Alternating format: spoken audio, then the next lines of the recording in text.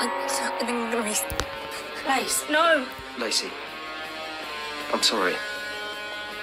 no. Rayne, you said he was dead. She did it for her numbers. This isn't what it looks like. This is a prank, I swear.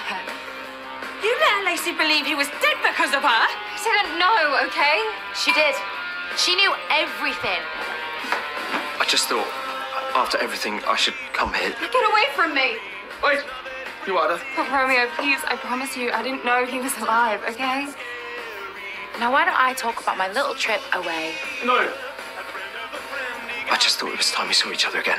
Faye, this isn't a part of this, please. Cameras are rolling, darling. It's all part of it.